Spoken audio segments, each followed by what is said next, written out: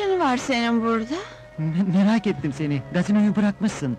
Yalnız gazinoyu değil, her şeyi bıraktım. Her şeyi. Her şeyi bıraktım. Neden? O aşk ne oldu? O güzelim aşk öldü mü? Öldü. Hayır, yalan söylüyorsun. Ne iyiydik bir vakitler çadırda. O güzelim günler. Karnımız yara açtı ama gözümüz, gönlümüz toktu.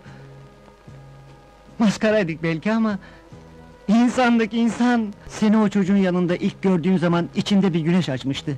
Ama aldın çamura attın sen o güneşi. Ne oldu sana böyle? Ne oldu? Susar mısın sen? Peki. Sustum ve gidiyorum. Ha!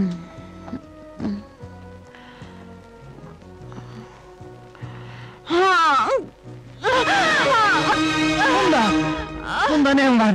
Funda ne oluyor sana? Funda!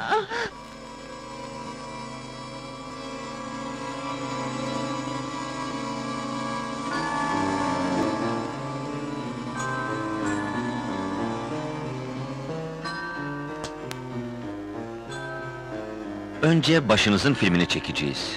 Sonra da kararı hocam verecek. Anlayamadım. Hastalığın bu kadar önemli mi? Söyleyin lütfen. Şimdi size hiçbir cevap veremem. Netice filmden sonra belli olacak.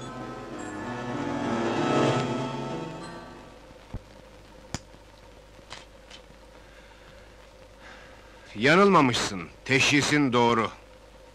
Ee, bey neyi oluyor hastanın? Onun hiçbir şey değilim.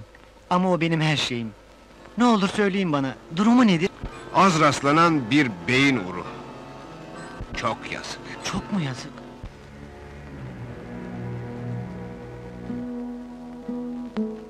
Geçirdiği baş dönmeleri ve göz kararmaları sıklaşacak. Gözleri görmediği ve kör olduğu anda... Yalvarırım bana her şeyi söyleyin. Ölecek mi?